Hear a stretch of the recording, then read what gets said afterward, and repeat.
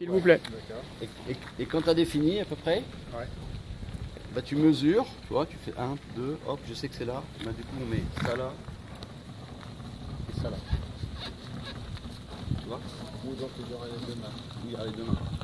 Mais c'est-à-dire demain, c'est-à-dire que tu es capable de naviguer à deux mains, tu es même Ouais. capable de naviguer à une main.